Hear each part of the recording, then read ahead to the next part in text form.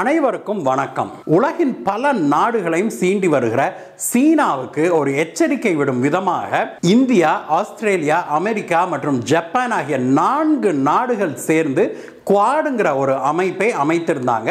இப்பொழுது சீனா பலவாறு தனது அண்டை நாடுகளுக்கும் பிற நாடுகளுக்கும் தொல்லை கொடுத்து வர்றதுனால சீனாவுக்கு ஒரு எச்சரிக்கை விடும் விதமாக குவாட் அமைப்பு ஒருங்கிணைந்த கூட்டு கடற்படை பயிற்சி ஒன்று நடத்த திட்டமிட்டிருக்கிறாங்க. இந்த குவாட் அமைப்புனா என்ன? இதனுடைய சிக்னிஃபிகன்ஸ் என்ன? இந்த அமைப்பு இப்பொழுது சீனாவை எப்படி கட்டுப்படுத்த திட்டமிட்டிருக்குது?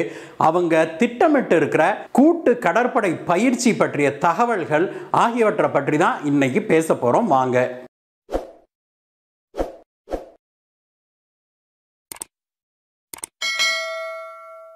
கடந்த பதினைந்து இருபது ஆண்டுகளுக்கு முன்பிருந்தே சீனா வேகமாக வளர்ந்து வர ஆரம்பித்ததை கவனித்த சில ஜனநாயக நாடுகள் சீனா போன்ற ஒரு கம்யூனிச சர்வாதிகார நாடு உலகின் வல்லரசாக மாறினா அது உலகுக்கு எவ்வளவு அச்சுறுத்தலாக மாறிவிடும் அப்படிங்கிறத கருத்தில் கொண்டு சீனாவை எதிர்கொள்வதற்காக ஒரு அமைப்பை உருவாக்குனாங்க. அதுதான் குவாட் அப்படிங்கிற ஒரு அமைப்பு. இரண்டாயிரத்தி ஏழாம் ஆண்டு அமெரிக்கா ஆஸ்திரேலியா ஜப்பான் மற்றும் இந்தியா ஆகிய நான்கு நாடுகள் இணைந்து இந்த அமைப்பை உருவாக்குனாங்க. இந்த அமைப்பின் நோக்கமே என்ன அப்படின்னா எல்லா மட்டங்கள்லையும் அது சிவிலியன் சர்வீஸாக இருந்தாலும் சரி ராணுவ ரீதியிலான கூட்டு நடவடிக்கைகளாக இருந்தாலும் சரி ஒரு சுனாமி வருது ஒரு பேரிடர் வருது அந்த சமயங்களில் உலக நாடுகளுக்கு உதவுவதாக இருந்தாலும் சரி இந்த நான்கு நாடுகளும் ஒரு கையை போல நின்று உதவுவது அப்படிங்கிற ஒரு குறிக்கோளோட இந்த அமைப்பு ஆரம்பிக்கப்பட்டது. ஆனால் இரண்டாயிரத்தி எட்டாம் ஆண்டு ஆஸ்திரேலியா இதுல இருந்து விலகுச்சு. மீண்டும் ஆஸ்திரேலியா இந்த அமைப்பில் இணைந்தாலுமே கூட இந்த அமைப்பை சேர்ந்த நாடுகளான அமெரிக்கா ஜப்பான் மற்றும் இந்தியா ஆகிய மூன்றும் வருடா வருடம் நடத்துகிற மலபார் அப்படிங்கிற கூட்டு கடற்படை பயிற்சியில ஆஸ்திரேலியாவை சேர்த்திக்கல அவங்க. இதற்கு முக்கியமான காரணமாக இந்தியாவின் தயக்கம் கூறப்பட்டது. ஆஸ்திரேலியாவுக்கும் சீனாவுக்கும் என்னைக்குமே ஏழாம் பொருத்தம் தான் அப்படி இருக்கும்போது ஆஸ்திரேலியாவை இந்த கூட்டு கடற்படை பயிற்சி மற்றும் ராணுவ பயிற்சியிலலாம் சேர்த்துக்கிட்டோம்னா சீனா நம்ம கிட்ட அப்படின்னு சொல்லி இந்திய அரசாங்கம் இதற்கு தடை போட்டு வந்தது. இத்தனை காலமாக தடை போட்டு வந்த இந்திய அரசாங்கம் இப்பொழுது சீனா நம் மீது காட்டுகிற துவேஷத்தை கருத்தில் கொண்டு இப்பொழுது ஆஸ்திரேலியாவை இந்த அமைப்பின் முழுமையான நிரந்தர உறுப்பினராக மாற்றணும் அப்படின்னு கோரிக்கையை வச்சிருக்கிறாங்க. அது மட்டும் இல்லாமல் இந்த வருடம் பே ஆஃப் பெங்காலில் நடத்தவிருக்கிற கூட்டு கடற்படை பயிற்சியில் ஆஸ்திரேலியாவையும் சேர்த்துக்கொள்வோம் அப்படின்னு சொல்லி இந்தியாவே இதை முன்மொழிந்திருக்குது. இதை அமெரிக்காவும் பிற நாடுகளும் ஏற்றுக்கொண்டதாகவும் இதனால நான்கு நாடுகளும் இணைந்து கூட்டு பயிற்சியில் ஈடுபடுவாங்க அப்படின்னு எதிர்பார்க்கப்படுது. சீனா நமக்கு எல்லையில் கொடுத்து வருகிற குடைச்சல்னால எரிச்சல் அடைந்திருக்கிற பாரத பிரதமர் அவர்கள் வெகுண்டு எழுந்து அக்கட்டும் அல்லது பொக்கட்டும் அப்படின்னு ஆஸ்திரேலியாவை இந்த கூட்டு கடற்படை பயிற்சியில் சேர்த்துக்குவோம். அது மட்டும் இல்லாமல் ஆஸ்திரேலியாவை குவாடின் நிரந்தர உறுப்பினராக்குவோம். எல்லா மட்டத்திலையும் நாம் ஒருங்கிணைந்து செயல்படுவோம். இந்து கடல் மற்றும் பசிபிக் கடல் ஆகிய இரண்டு பெருங்கடல்களையும் காப்பதில் நாம் நான்கு பேரும் இணைந்து பணியாற்றுவோம் அப்படின்னு கருத்து தெரிவித்திருப்பதாக சொல்லப்படுது நண்பர்களே. நாம் கூறு கூறுகிற எல்லாவற்றுக்கும் மேலாக இது இந்தியாவின் சீன கொள்கையில் ஒரு மிகப்பெரிய மாற்றத்தை குறிக்குது அப்படிங்கிறத மறுக்க முடியாது.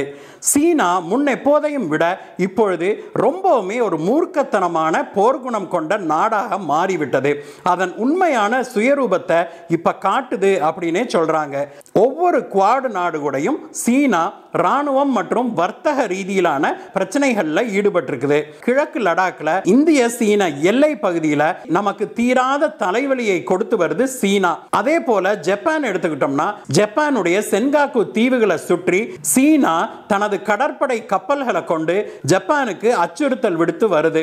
இதை ஜப்பான் இதுவரைக்கும் தனியாகவே சமாளித்து வருது. இன்னொரு புறம் ஆஸ்திரேலியாவை எடுத்துக்கிட்டோம்னா ஆஸ்திரேலியா சீனாவோடு நெருங்கி பழகவே விரும்புச்சு இத்தனை காலமாக.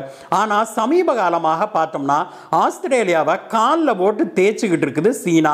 ஆஸ்திரேலியா மீது பல வர்த்தக தடைகளை விதிச்சிருக்குது. அதுக்கு காரணம் என்ன தெரியுமா? உலக சுகாதார அமைப்பில் ஆஸ்திரேலியா இந்த புதிய கொரோனா வைரஸ் உருவானது எப்படி அப்படிங்கிறத பற்றி டபிள்யூஹெச்ஓ ஒரு ஆய்வு மேற்கொள்ள வேணும் அப்படின்னு சொல்லி கேட்டுக்குச்சு. இது சீனாவை சீண்டுவதற்காகவே ஆஸ்திரேலியா சொல்லி இருக்குது அப்படின்னு கருதுகிற சீனா ஆஸ்திரேலியா மீது பல்வேறு அடக்குமுறைகளை கட்டவிழ்த்து விட்டுருக்குது.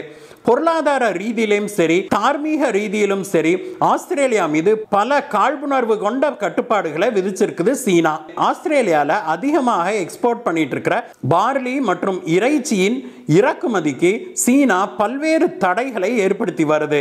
எல்லாத்துக்கும் மேலாக அமெரிக்கா கூட சீனா என்ன மாதிரியான பிரச்சனைகளை எல்லாம் ஏற்படுத்திக்கிட்டு இருக்குது அப்படிங்கிறது தெரியும். இதனால அமெரிக்கா சீனா மேல கடும் கோபம் கொண்டிருக்குது அப்படிங்கிறது உண்மைதான்.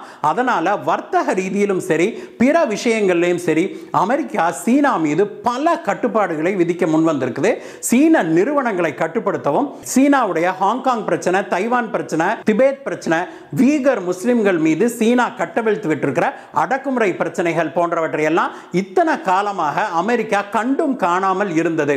ஆனா அதையெல்லாம் இப்பொழுது கையில் எடுத்துக்கிட்டு அமெரிக்கா சீனா மீது கடுமையான மனித உரிமை பிரச்சனைகளை கூட கொண்டு வர துவங்கி இருக்குது இதெல்லாம் சீனாவுக்கு ஒரு மிகப்பெரிய அடியாகவே கருதப்படுது. இப்படி குவாடில் இருக்கிற நான்கு நாடுகளையும் சீனா பல்வேறு விதங்களில் சீண்டி வருது. இதனால் குவாடின் அமைப்பில் இருக்கிற இந்த நாடுகள் தங்களுக்கிடையே இருக்கிற நெருக்கத்தை மேலும் அதிகமாக்குறதுக்கு சீனாவே காரணமாயிருச்சு அப்படின்னு கூட சொல்லலாம். சீனாவுடைய தென் சீன கடல் நடவடிக்கைகளை பற்றி நம்ம சொல்லவே வேண்டாம். ஏற்கனவே நிறைய பேசியிருக்கிறோம். சலாமி ஸ்லைசிங் அப்படிங்கிற ஒரு டெக்னிக்கை பயன்படுத்தி தென் சீன கடலில் இருக்கிற பல நாடுகளுடைய தீவுகளையும் பகுதிகளையும் பிடிக்க முற்பட்டு வருது சீனா. அது மட்டும் இல்லாம தென் சீன கடல்ல பல இடங்கள்ல செயற்கையான தீவுகளை உருவாக்கி அந்த பகுதியிலிருந்து அடுத்த இருநூறு நாட்டிக்கல் மைல் வரைக்கும் தன்னுடைய நிலம் அப்படின்னு சீனா இப்பொழுது ஸ்தாபிச்சு வருது. ஒரு நாட்டுடைய கடற்கரையில இருந்து இருநூறு நாட்டிக்கல் மைல் வரைக்கும் அந்த நாட்டுடைய கடல் பகுதியாக சர்வதேச ஒப்பந்தங்கள் கூறுது. இதனால தான் சீனா நடுக்கடலுக்கு போய் அங்க ஒரு செயற்கையான தீவை உருவாக்குது. அப்போ அங்க அங்கிருந்து அடுத்த இருநூறு மைலுக்கு சீனாவுடைய கடலாக மாறிவிடும் அது.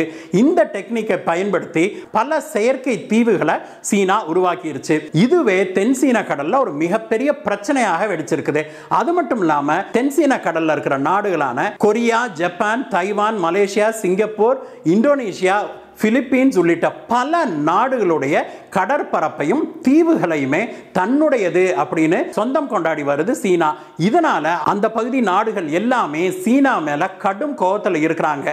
அந்த பகுதியில் இருக்கிற நாடுகள் பலவும் இந்தியாவிடமும் தனிப்பட்ட முறையில் உதவி கேட்டிருக்கிறாங்க. தென்சீன கடலுக்கு இந்தியா தனது கடற்படையை ரோந்துக்கு அனுப்பணும் ரெகுலராக அனுப்பணும் அப்படின்னு சொல்லி கேட்டிருக்காங்க. இந்த குவாட் அமைப்பின் மூலமாக இனி இந்த நான்கு உறுப்பு நாடுகளும் சேர்ந்து இது போன்ற பணிகளில் ஈடுபடுவாங்க அப்படிங்கிறத நாம் எதிர்பார்க்க முடியும். உண்மையை சொல்ல போனால் சீனாவுக்கு எதிராக பெருந்திரளான நாடுகளை அணிதிரட்ட ஒரு பெரும் முயற்சி எடுத்து வருது அமெரிக்காவும் இந்தியாவும். அந்த முயற்சியின் ஒரு வெளிப்பாடாக தான் நம்ம குவாட் அமைப்பையும் பார்க்குறோம் நண்பர்களே. இந்த குவாட் அமைப்பில் இருக்கிற நான்கு நாடுகளும் தான் இப்பொழுது சீனாவுக்கு எதிரணிக்கு தலைமை தாங்கவே போகிறாங்க அப்படின்னே நாம் எதிர்பார்க்க முடியும். குவாட் அப்படிங்கிற ஒரு அமைப்பை இரண்டாயிரத்தி ஏழில் ஆரம்பித்திருந்தாலுமே கூட இந்தியா முழு மனதாக சீனாவுக்கு எதிராக போக விரும்பவில்லை அப்படிங்கிறது தான் உண்மை. இரண்டு நாடுகளும் பெரும் நாடுகள் ஆசிய நாடுகள் அண்டை நாடுகள் நாம் இணைந்து செயல்படணும் அப்படின்னு தான் இந்தியா விரும்புச்சு.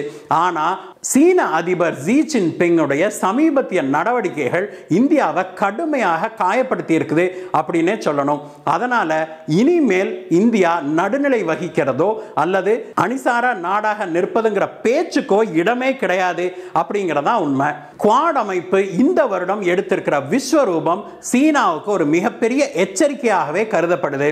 சீனா மீண்டும் மீண்டும் இதே போன்ற பாணியை தொடர்ந்ததுன்னா இந்த குவாட் அமைப்பின் பின்னால் பெருவாரியான நாடுகள் திரளும் அப்படிங்கிறதுல மாற்றுக்கிறதே கிடையாது நண்பர்களே. இந்த வீடியோவை பற்றிய உங்களுடைய கருத்துக்களை சொல்லுங்கள் நண்பர்களே. மீண்டும் உங்களை வேறொரு வீடியோவோடு சந்திக்கிறேன் காய்ஸ் பை பாய்